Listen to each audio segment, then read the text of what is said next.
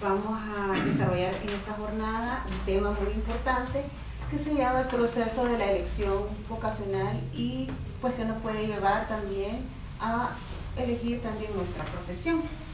El objetivo que vamos a pretender desarrollar en esta jornada es identificar los elementos que inciden en la toma de decisiones para lo que es eh, la elección vocacional acorde a su propia realidad personal. ¿En qué consiste el proceso de elección vocacional?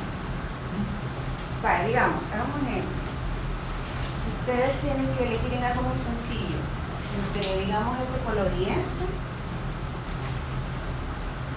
por ejemplo, ¿cuál elegiría? El verde. Ah, ok, muy bien. Porque yo tendría a pensar que usted elegiría el de rosa por ser, por ser mujer.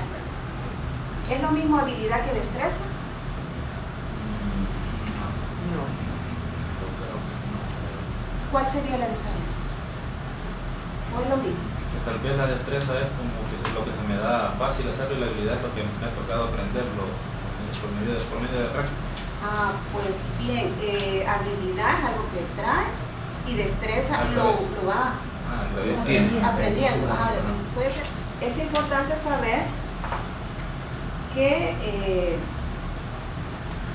que lo que a mí me pagan, o sea, la profesión, es importante estos dos aspectos porque así como yo lo hago, como me apasiona mi profesión, la habilidad que presente, así me voy a desempeñar en mi profesión.